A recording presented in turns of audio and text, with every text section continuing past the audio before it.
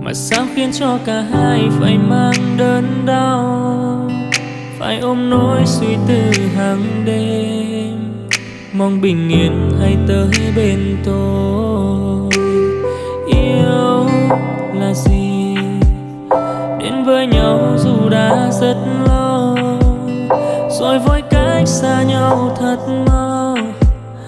Anh quên hết yêu thương đậm sâu, thì ra tình yêu là vậy. Những phút giây hạnh phúc được bao, giờ đã chia xa rồi ôm đớn đau đành thôi. Yêu đương gì tầm này em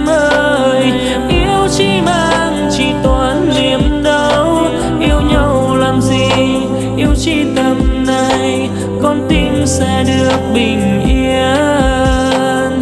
Sẽ đến khi một ngày nào đó, hạnh phúc sẽ qua dành tặng em đó.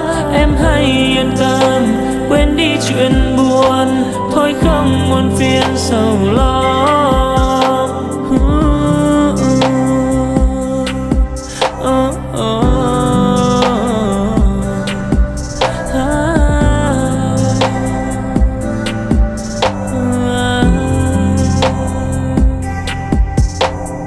Yêu là gì?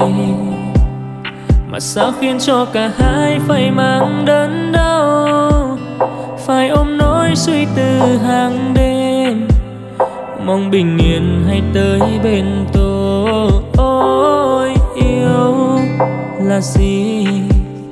Đến với nhau dù đã rất lâu, rồi với cách xa nhau thật mau đành quên hết yêu thương đậm sâu. Thì ra tình yêu là vậy.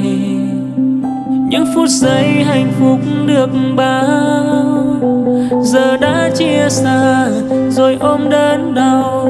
Đành thôi.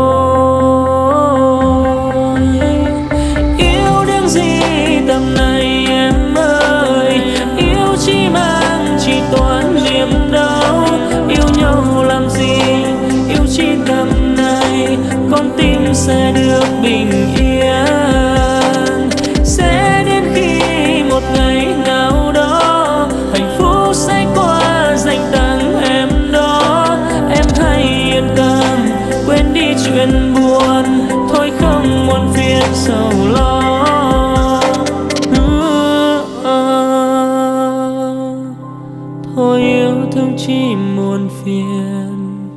Và hãy yêu bản thân mình hơn. Quên đi quá khứ khờ sai, vì tình yêu nó là như thế.